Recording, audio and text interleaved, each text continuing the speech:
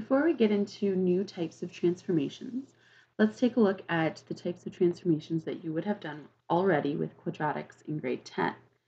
Uh, so first of all, uh, we've got a possibility of reflection over the x-axis, and that happens when there's a negative in front of the function that we have. So in the case of quadratic functions, uh, that would look like y is equal to negative x squared.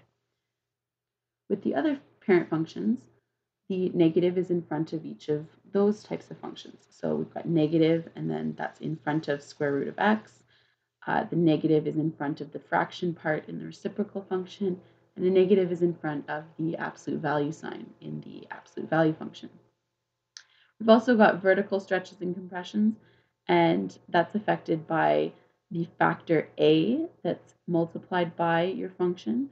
Uh, so again, in the case of quadratics, that would be y equals a times x squared, and that a indicates uh, a stretch if the a value is greater than 1, and a compression if the a value is between 0 and 1.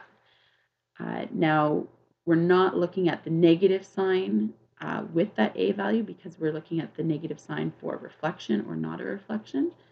Uh, so really, we're looking at the absolute value of a, whatever that positive number is that's there.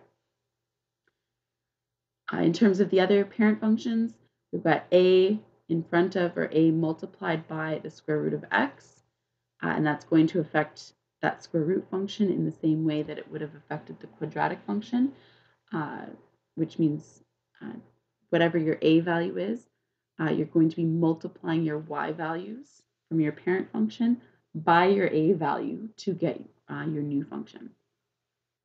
For the reciprocal function, we would have a times 1 over x, or a times that parent function. And of course, a times 1 over x is the same as a over x.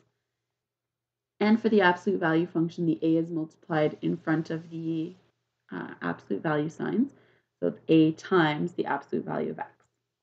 Then we've got vertical translations and horizontal translations.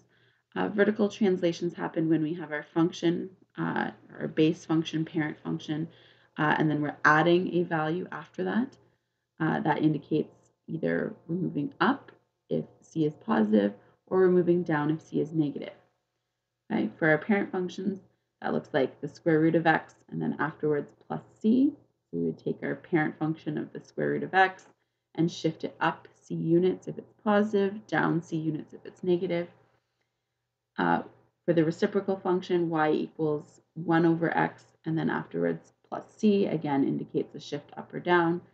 And finally, y equals absolute value of x plus c, same idea. For horizontal translations, that is uh, affecting the x values, whereas the vertical translations affect the y values, which is why uh, our old y values, the f of x value, we're adding c to it. The horizontal translation is affecting x values, and so that's going to happen inside the brackets in the function notation. So x minus d is used to indicate a horizontal translation. If the d value is positive, meaning, so for example, x minus 5, d is positive 5, that indicates a shift to the right.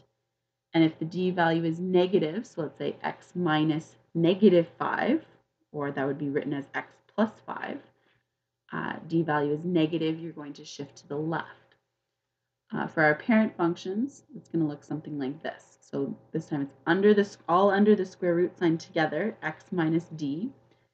So it looks a little bit different from the vertical translation where the plus c part is outside of the square root sign.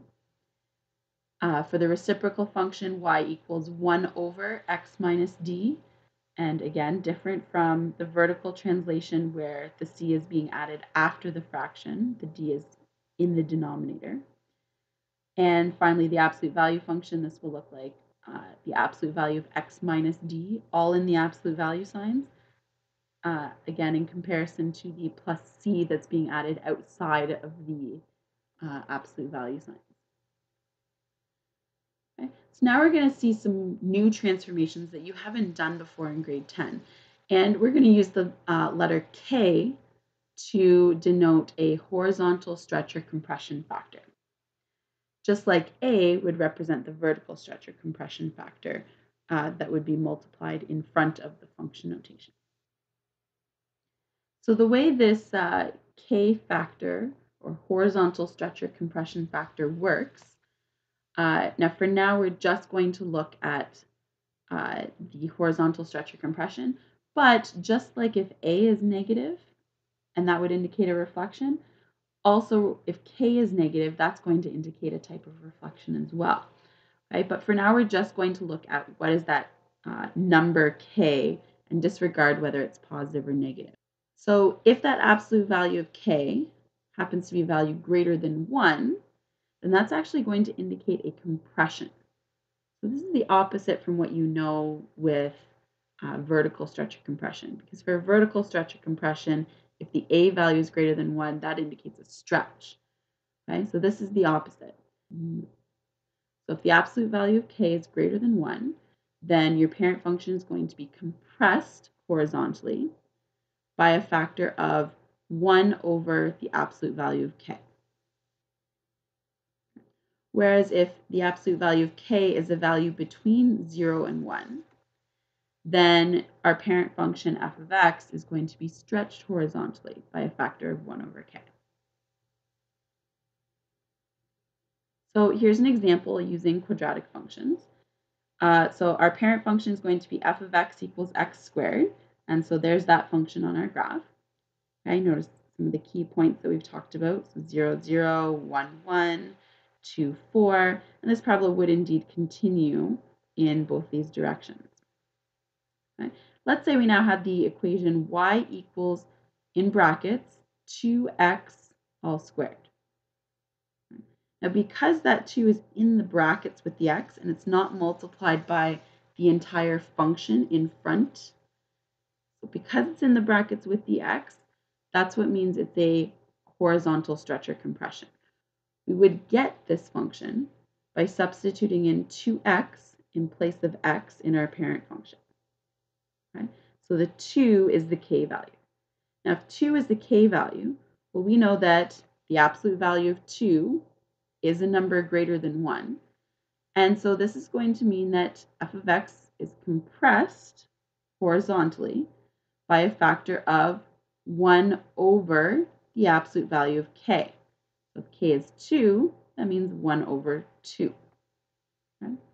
Now, if we take a look at the point 1, 1, so this is one of our key points on our parent function, that point 1, 1, if we were to apply a horizontal compression, okay, that's going to push the function in closer towards the y-axis.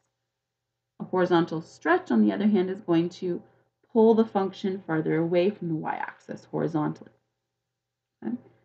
So this uh, so this point, 1, 1, if we apply a horizontal compression by a factor of 1 half, that means that we want to take the x value of this point and multiply it by 1 half. So if we take the x value of 1, multiply it by a half, we get 1 half. Okay, so again, that key point has now moved closer to the y-axis. It's being horizontally compressed. And so under this transformation, that key point of 1, 1 is going to move to 1 half 1. And if we do something similar with all of the other key points, so if we take the point 2, 4, that x value is 2. If we compress it horizontally by a factor of a half, that means we're going to take the x value of 2 and multiply by a half to get 1. And because of the symmetric properties of a parabola, it's going to be the same on the left-hand side of the y-axis. So we get a new function that looks something like this. Our parent function in this case is f of x is equal to the absolute value of x. So let's start by graphing that, which we should all be very familiar with at this point. Now we want to apply this transformation so we want to graph the new function where y is equal to the absolute value of 1 half times x. Now, because that 1 half is with the x inside the absolute value signs and not in front of the absolute value signs, that's what makes it a horizontal stretch or compression compared to a vertical stretch or compression. So here we want to look at this k factor of 1 half, does that indicate a stretch or a compression? And using our rules about stretch or compression, because 1 half, or the absolute value of 1 half, uh, is between 0 and 1, this is going to indicate a horizontal stretch by a factor of, remember the factor is going to be 1 over the absolute value of k. The absolute value of k is 1 half. 1 over 1 half is equal to 2. So here we have a horizontal stretch by a factor of 2. Now we're going to take one of our key points, so 1, 1, which is on our parent function. And if we apply a horizontal stretch by a factor of 2, that means we're going to multiply the x value by 2. The x value is 1. If we multiply that by 2, we're going to get a point right here at 2, 1. Okay. We do the same thing for all of the other key points. So this key point is 2, 2. And if we do a horizontal stretch by a factor of 2, we're going to multiply the x value by 2 and get 4. Okay. So if we do that to all of the key points, we're going to get this function in green. Just as a reminder, that point zero, zero, it doesn't move after the transformation, and so that's called an invariant point. If in our function notation we have a negative in front of the x inside the function notation brackets, as opposed to being in front of the function, that in front of the function would indicate a reflection over the x-axis, which you've seen before. But if that negative appears inside with the x value, then that's going to indicate reflection over the y-axis. So if that k value is less than zero, okay, or is a negative number, then in addition to whatever uh, horizontal stretch or compression factor there might be, there's also going to be a reflection over the uh, over the y-axis. So here's an example. If we start with our parent function f of x is equal to the square root of x, which looks like this, and we apply the transformation so that we want the equation y is equal to the square root of negative x. Okay, well, that negative is inside the square root sign as opposed to being in front of the square root sign. So that's a horizontal reflection or a reflection over the y-axis. So we want to take this whole graph and reflect it over this y-axis line. Okay? And just like a reflection over the x-axis, where the y values would change signs, so any positive y values would become negative and vice versa. For a reflection over the y-axis, we're going to change the sign of the x values. So any x values that are positive are now going to become negative x values and vice versa. So for the x value of 0, that point is going to remain invariant. Okay? The x value of 1, that's going to reflect over and now be at negative 1 for an x value. The x value of 4, that point is going to reflect and become an x value of negative 4. And so when we graph those uh, new key points, we're going to get a function that looks like this in green.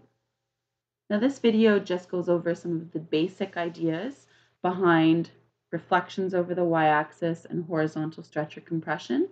On Monday in class, we're going to talk further uh, about this topic and uh, do some examples that uh, contain horizontal stretch or compression, uh, as well as some of the other transformations that we've already done in the past.